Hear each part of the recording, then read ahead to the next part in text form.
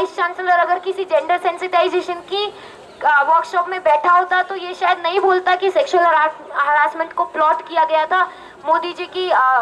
जो भी उन मोदी जी के आने को आने में बाधा डालने के लिए। A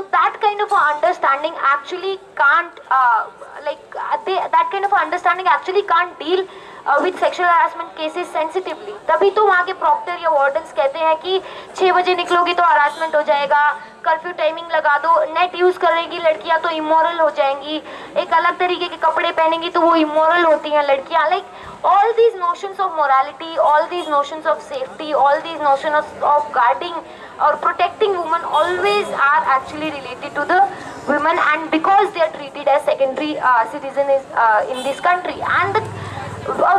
chancellor which proudly says कि I, I am actually a member of RSS you can understand कि उनका uh, समझदारी एक्चुअली आता कहाँ से है? वो समझदारी आ रहा है मनुस्मृति से जिसमें बोला जाता है कि जानवरों को और महिलाओं को तो सुबह शाम दो दो डंडे मारने चाहिए तभी वो लाइन पे रहते हैं वरना उनकी अपनी कोई समझदारी नहीं है। इंडिविजुअली कोई महिला अपना कोई ओपन अपना कोई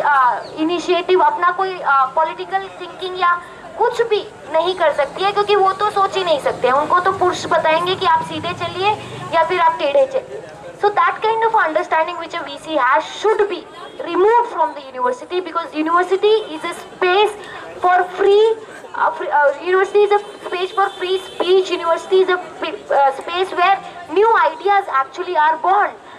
When you do not even have a space to come out of the hostel after 6 p.m., what kind of a freedom, what kind of a uh, public space we are talking about, and what kind of uh, like what kind of a space for women we are talking about, जहाँ पे उनकी mobility को इतना तक बांधा जाता है कि 10 बजे के बाद आप फोन पर बात नहीं कर सकते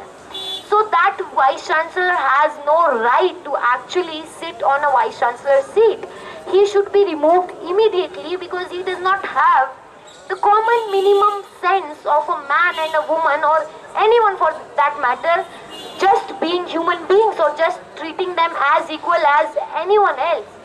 So that uh, we have few things uh, which we think that should be demanded in this uh, stand with BHU movement. First of all an institution like GS Cash should be there in BHU and the VC who has no sense of a woman struggles, who has no sense of how to talk to a woman, how to actually deal with the sexual harassment issue